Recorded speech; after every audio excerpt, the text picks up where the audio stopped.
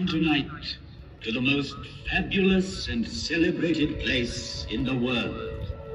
Here on the plateau of Gizeh stands forever the mightiest of human achievements. No traveler, emperor, merchant, or poet has trodden on these sands and not gasped in awe.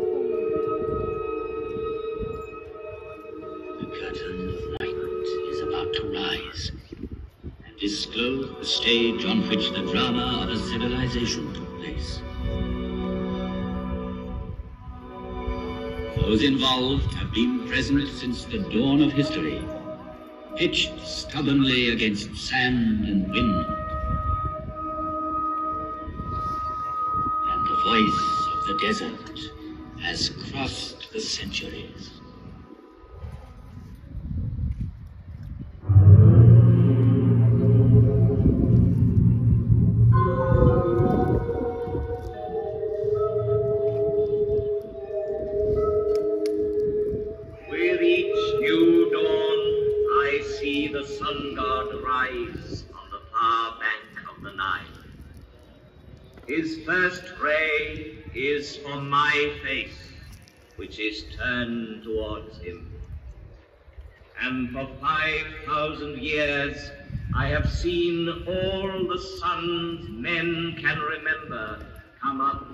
The sky. I saw the history of Egypt in its first glow, as tomorrow I shall see the east burning with a new flame. I am the faithful warden at the foot of his law. So faithful, so vigilant, so near him that he gave me his face for my own. I am a Pharaoh's companion, and I am he, the Pharaoh. Through the ages, I received many names from the people who came to me in adoration. O Harmakis, you are my life's safeguard. Horus, protect me, oh great God, that I might see you every day. Lord of the desert, Lord of the heavens, Sovereign of eternity. But the name which has remained with me is that given to me by a Greek traveler, the father of history, Herodotus. He called me Sphinx, as if I were from his land. And that name is now mine. Close to the Nile, I watch over the plateau of Gizeh, over all its monuments of modest or fantastic height. They are tombs.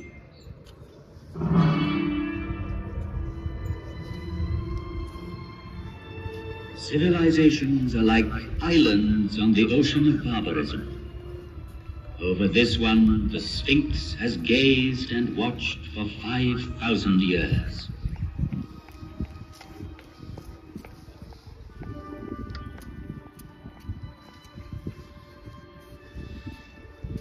Foot of such mountains of stone, everything becomes minute and insignificant. Man is an insect. Yet, it was men who built these massive monuments. And the names of pharaohs whose tombs they are have crossed the ages. Their glory has defeated time.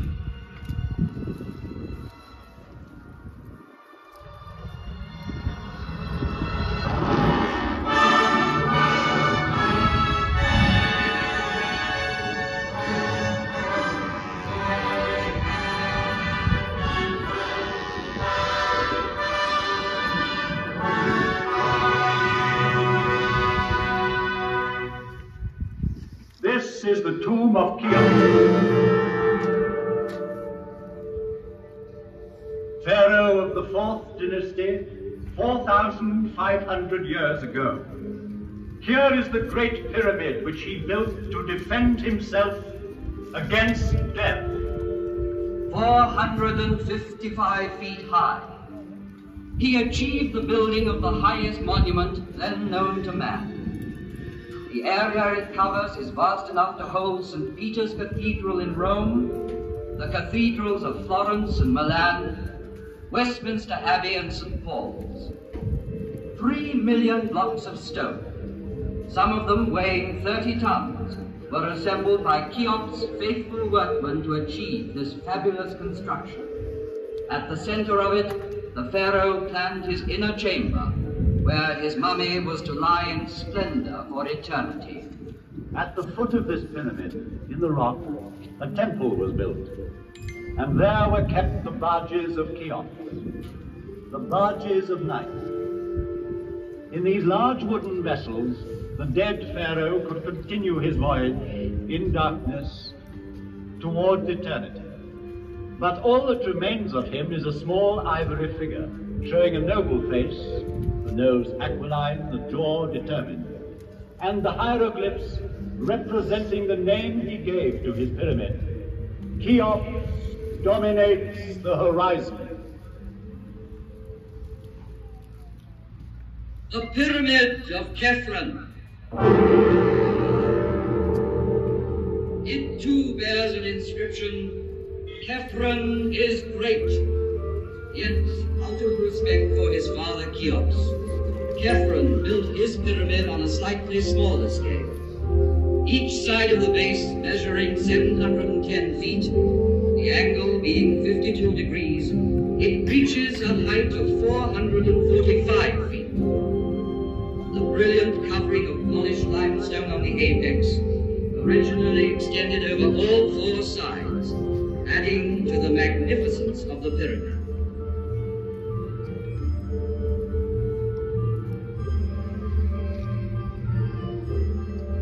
The face of Khephren has come down to us sculpted in green diorite streaked with white. A rare stone he brought back from an expedition. Here he is, close to us, in the guise of the Sphinx, carved in rock near his tomb.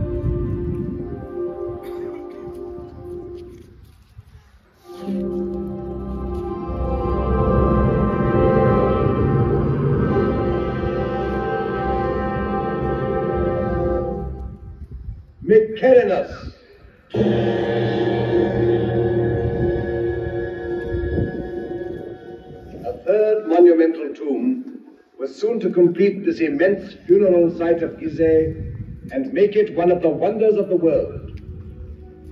Though smaller, the Pyramid of Mykerinus is perhaps the most impressive for being the culminating point of a vast design. Having built it, the workmen climbed down from its granite flanks and laying down their tools, looked up with wonderment.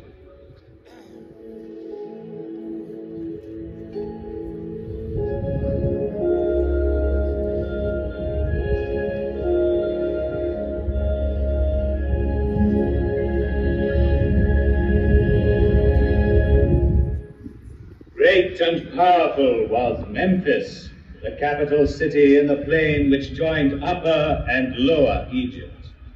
Great and powerful were the pharaohs, who on this side of the Nile built for eternity. Its aim accomplished, the fourth dynasty collapsed.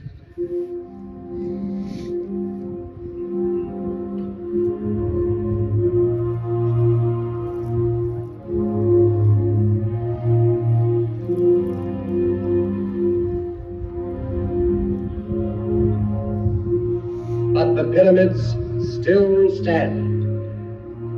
And the inscription on the one that completed the design claims, Divine is Mykerinus.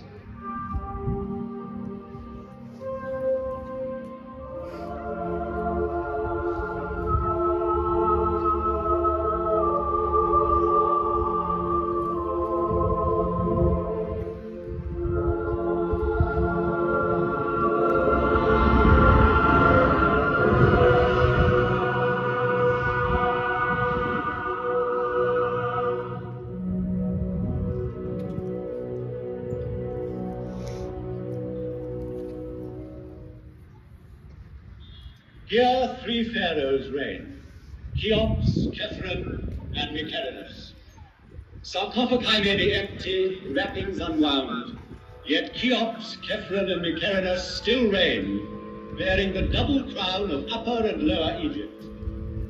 They reign over their court, buried round, over these small pyramids where their queens lie, over the tombs of their ministers, over the whole hierarchy, sleeping forever.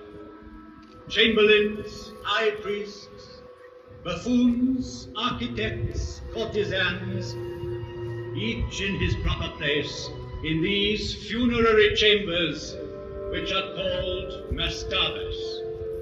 For this is a royal palace of the dead, with triumphal perspectives, pavilions, corridors, secret rooms, strong walls. It was a city of another world, approachable by the people only as near as the outer temples, where their devotion led them. Coming from the Nile, one ascended by a monumental causeway built on the same colossal scale to the high temples, where only the priests lived among the secrets of the mummies. They alone knew for what journey the great barges were being prepared at the foot of the tomb. A journey with the sun journey which had lasted 4,500 years.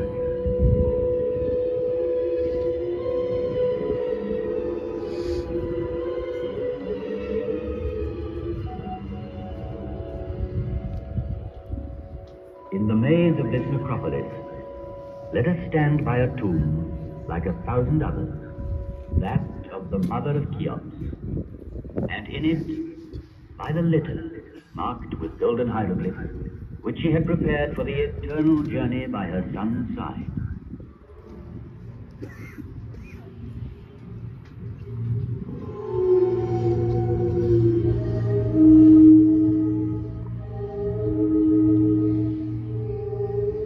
Neither wind, nor sand, nor centuries could ever entirely silence the voice of the desert.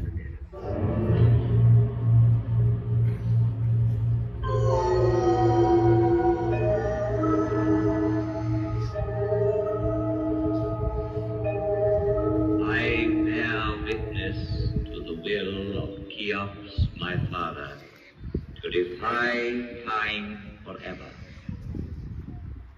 I saw Antony and Cleopatra pass, Alexander, Caesar, and Napoleon paused at my feet. I saw the ambitious dreams of conquerors whirling like dead leaves. As my motto, I chose an Arab saying The world fears time, but time fears the pyramids.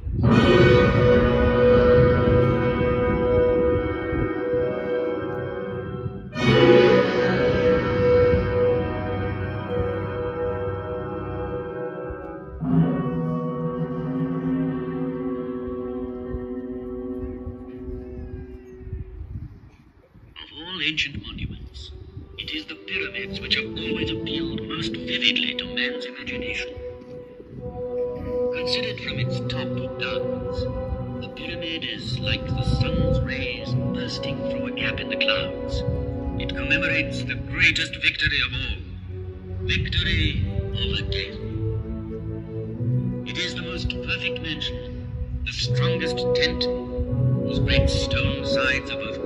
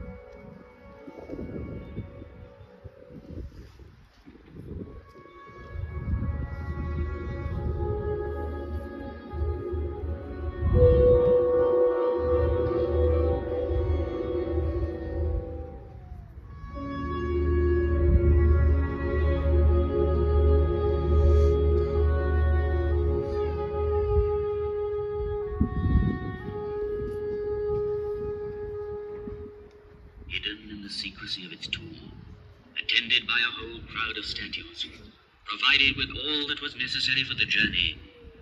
There, in the sarcophagus, lay the mummy, to be called on by the soul. For alone and without the body, the soul could not go into the night. And from the depths of this tomb still rises the scent of herbs, cedar oil, resin,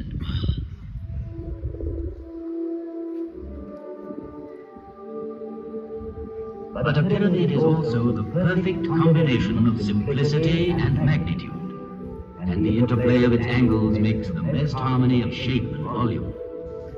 It is architecture's purest achievement, because it relies on the straight line alone. Never has the straight line been drawn with more mastery, skill, and strength.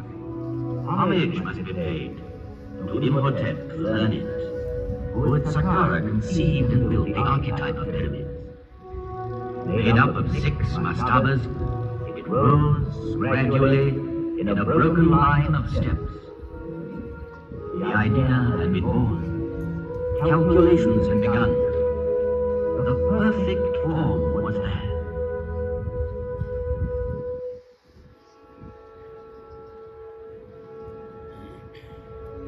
Among all the objects laid by a dead man's side in his tomb, a scribe's palette is undoubtedly the most precious.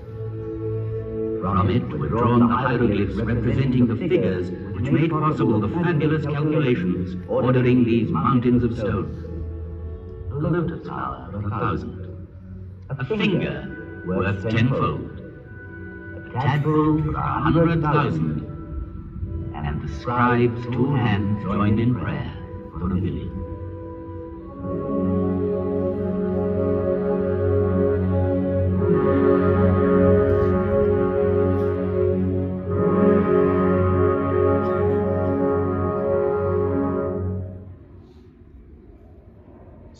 by stone it was built from earth to heaven.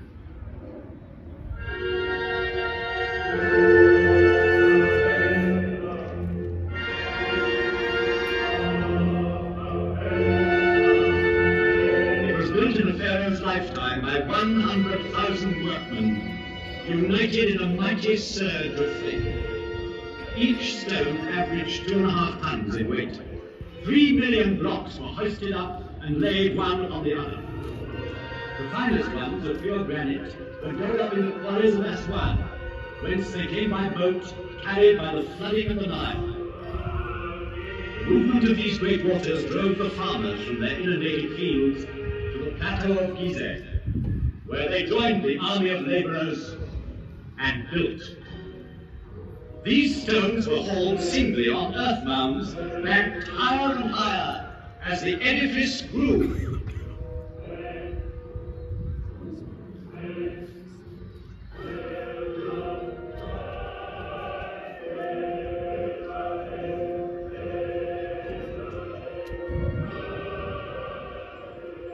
In front of such superhuman effort, can one believe in legend of the whip? It needs mystical fervor to build a pyramid. Faith. Those who worked here deserve not our pity, but our deepest respect and admiration. They lived through one of those rare times when man knows with absolute certainty what he has to do and where to go because he believes. Here man thought that death was vanquished.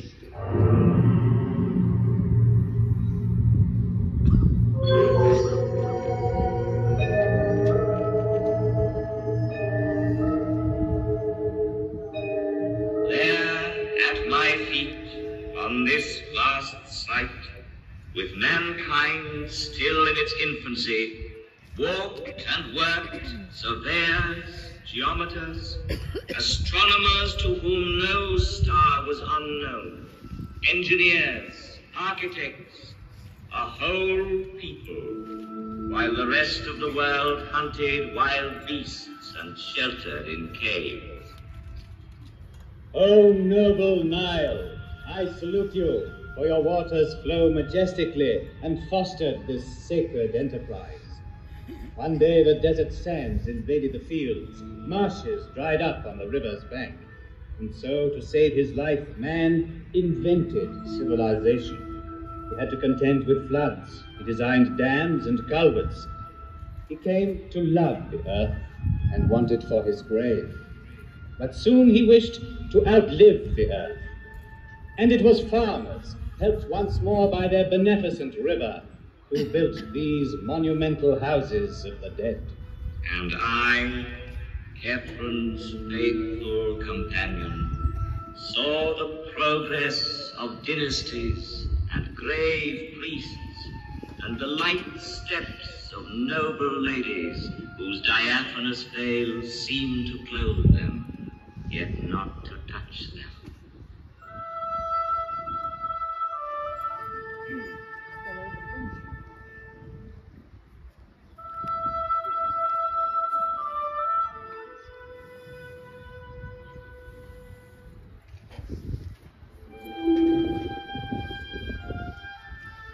Remember the story of the falcon that stole a sandal while the women were bathing?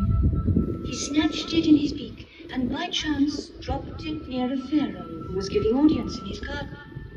So slender was the sandal, so small its size, that the pharaoh wished to see the owner. And he married her. And do you remember how a nobleman at the court of Cheops lured his wife's lover into a deep lake by means of a wax figure, and there had him turned into a crocodile by a magician? Wishing to impress the pharaoh with his magical powers, he willingly revealed what he had done, but carelessly too. For Cheops punished the guilty and the boaster equally. On his orders, the courtier was thrown to the crocodile, which devoured him, and the unfaithful woman was chastised. Do you remember, too, a young pharaoh, Amenhotep II? Never had there been an athlete so strong, so handsome, so fine. His shoulders were broad, his waist slender, his thighs were of bronze, and he could tame at will the wildest horse. His exploits are engraved on a stone which he laid before you. Then time in passing left you behind like an old monument. At the beginning choke. Kept by war in Mesopotamia, Amenhotep II was far away from his land. Then one day, while hunting the lion, a prince stopped to rest in your shadow. Fell asleep. You gave him the dream and spoke to him.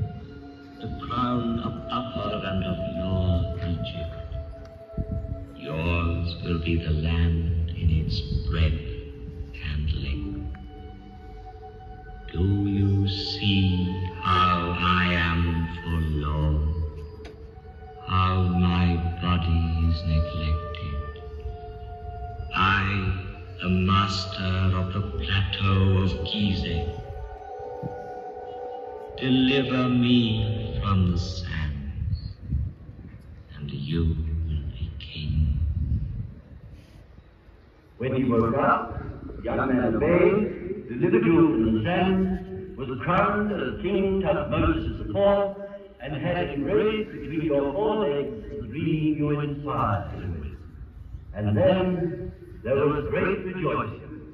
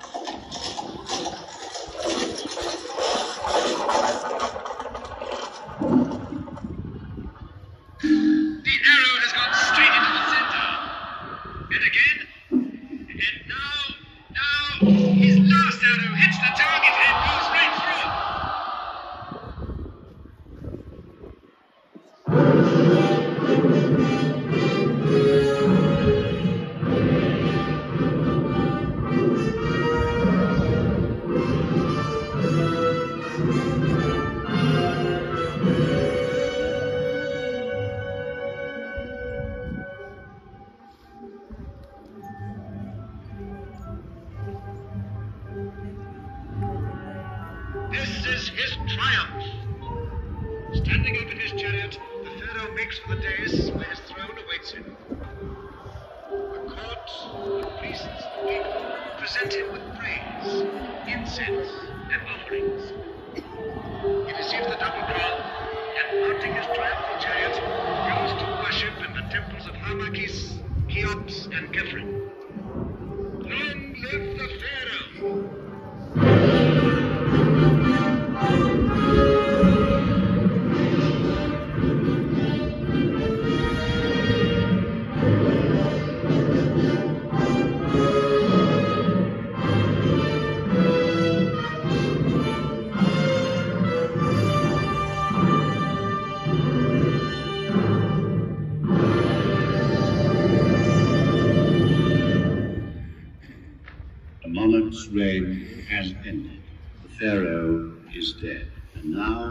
The valley, rises the sad lament of his funeral.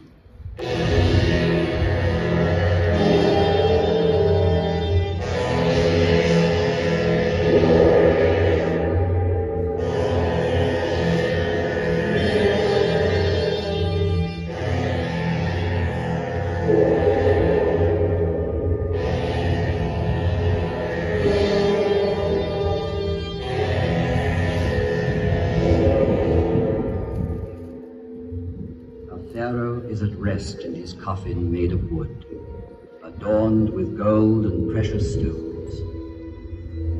The ceremony at the Noah temple is over, and ascending the causeway, the funeral procession nears the tomb, escorted by princes, high state officials, and priests.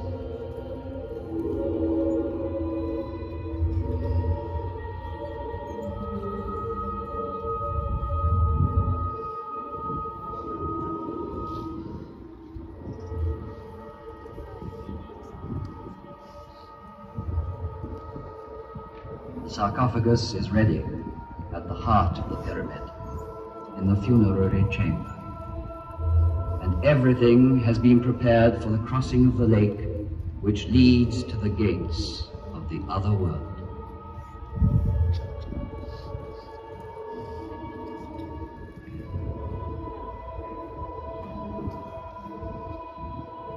The last slab of stone is going to be sealed with such cunning that it will never be known which part of the wall was the door.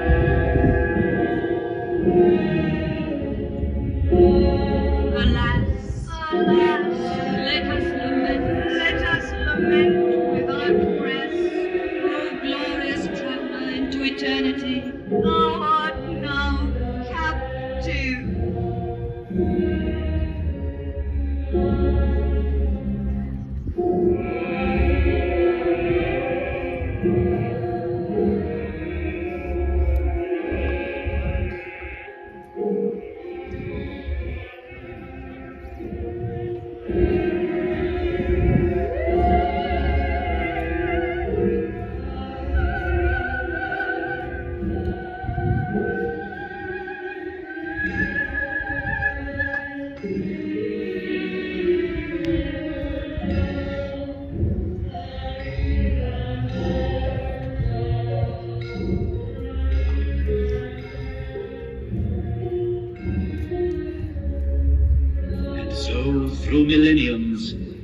succeeded dynasty. But among all the monarchs of ancient Egypt, none is more appealing than this young pharaoh, a poet and a mystic, who followed Amenhotep III. Civilization in its splendor had spread southward step by step, making the valley of the Nile like a triumphal way, bordered by the papyri of learning, furrows of prosperity, terraces of peaceful living and deep meditating tombs. The flame of knowledge had passed from Memphis to Thebes.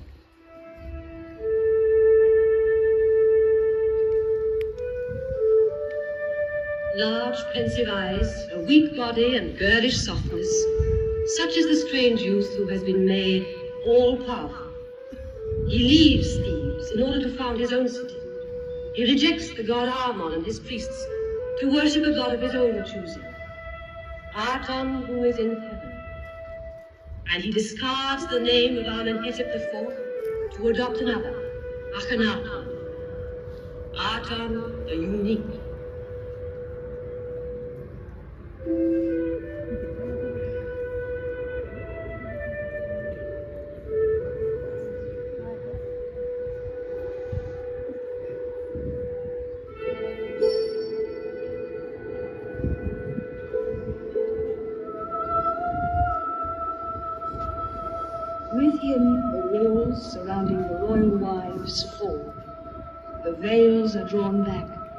In centuries to come, people will see and love the graceful figure of Nefertiti.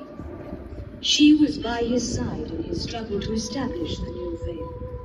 Of this faith, she was like a reflection. Her radiance inspired sculptors. Thus, the image of her beauty came to us in stone. Thirty years old, and he died. 3,300 years ago,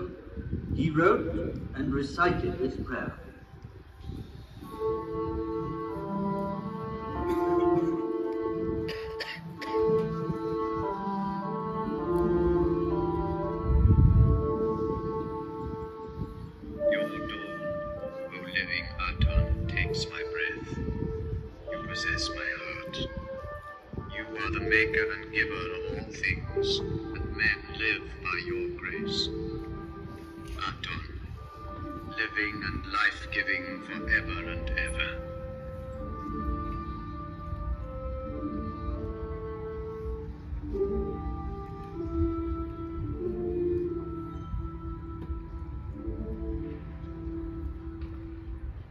Their love lasted but a season, the time of a bloom called Nefertiti. Yet there is sadness still in the hearts of men. His successor's name was to have been Tutankhaten.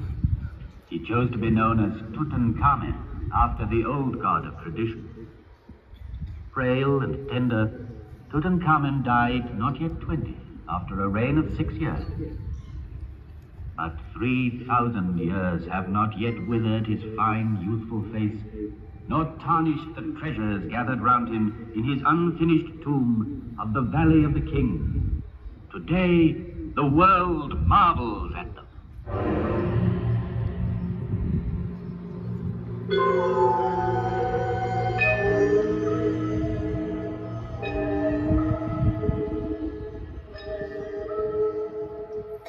I, who know the untouchable stars, know too that the Nile which made Egypt cannot Egypt. I saw conquerors reflect before me and bow their heads. I saw Alexander the Great, handsome as a barbarian, thoughtful as a prophet. Here, somewhere in this earth, he rests, awaiting resurrection. I saw Caesar one evening. He feared the sun. Our last queen, Cleopatra, bore him a child, but Caesarion was not a true pharaoh and died before ascending the throne. I saw Napoleon and his burning eye. Centuries passed over my forehead. Yet those great soldiers raised no more than dust. I have known years of despair. An irascible emir of the Middle Ages disliked my smile, thought it pagan and ironical, and so had me disfigured by his artillery. Then children found me ugly. No longer did anyone come and pray at my feet, or listen to me. The keys of old Egypt were lost. I was nearly buried in sand. All our knowledge, our very soul, rolled in thousands of papyri, was sleeping unknown and unintelligible in dark and silent tombs.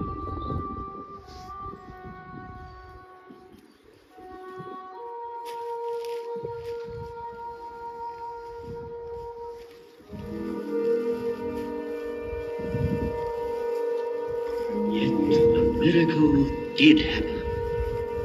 It was in 1799, near Rosetta. One of Napoleon's officers discovered a stone, a monolith, bearing an edict issued by Ptolemy. The inscription was in Greek characters and hieroglyphs. This was the cornerstone of Egyptology. True, it still remains to interpret its message. First came an Englishman, then a Frenchman, Champollion, the true father of Egyptian mythology. He was so inspired as to decipher the lost tongue of ancient Egypt from a few mysterious hieroglyphs. Then it was like a resurrection.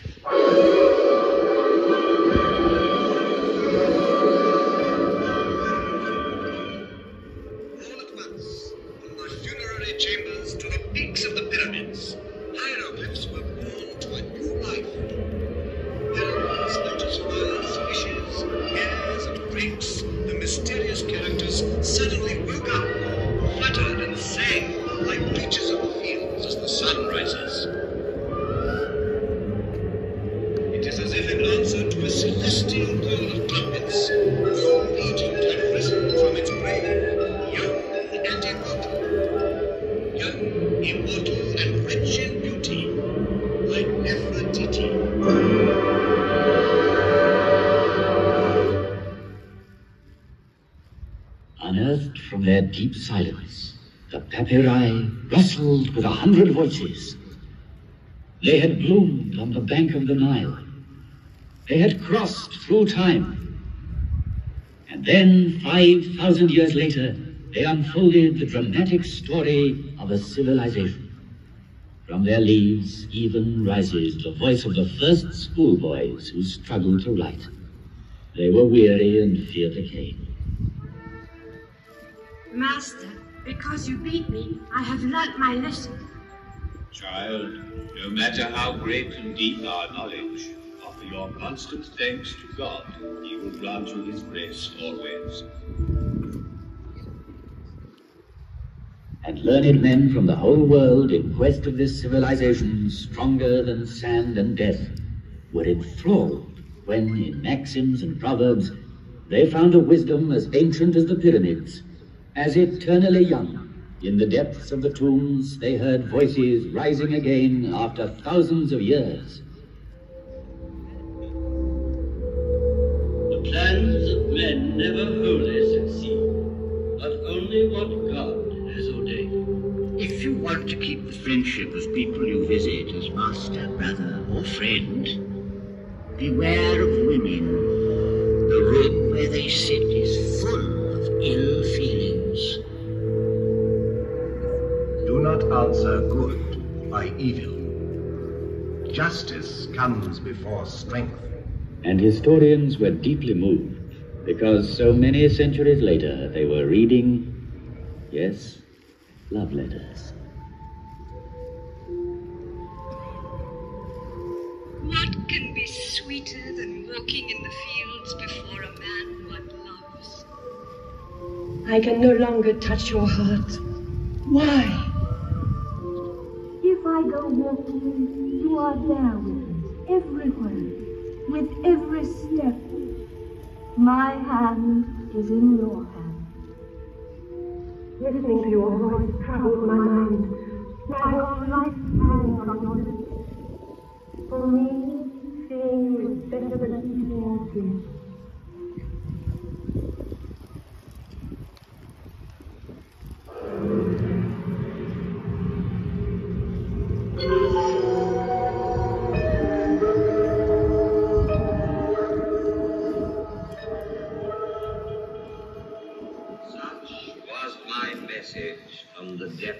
the ages. Girls' voices, the voice of wise men, of children, the voices of ancient Egypt. And if those voices sounded familiar to you, it is because their first echo had already reached you through Greece and Rome, Christianity and Islam.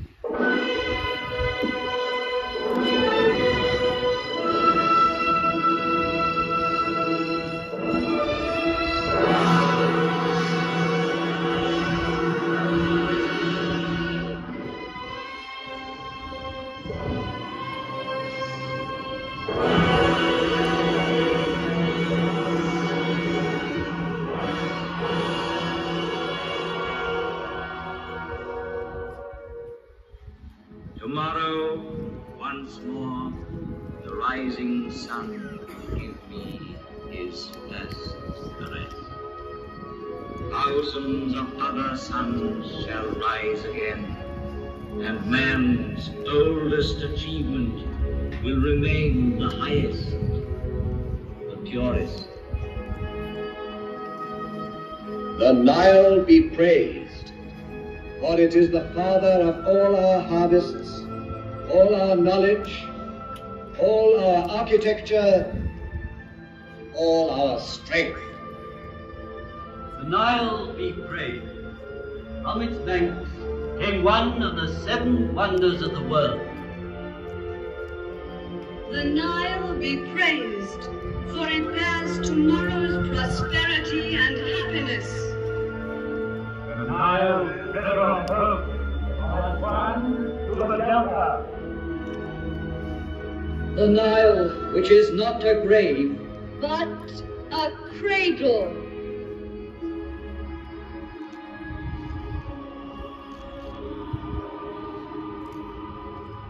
In the course of time, only human achievements crumble and fall. But the spirit which conceived these monuments cannot